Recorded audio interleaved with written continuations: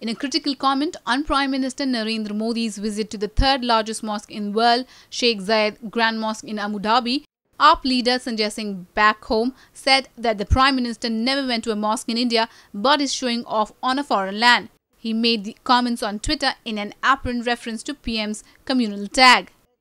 A visit to the mosque in Abu Dhabi is being seen as a groundbreaking attempt at a rapprochement between the Prime Minister and the largest minority community back home. The opposition in India are also considering it to be an appeasement policy by the Prime Minister to attract investments in India.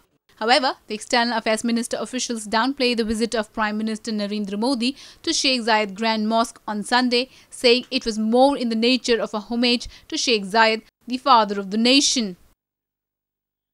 Powered by NNIS.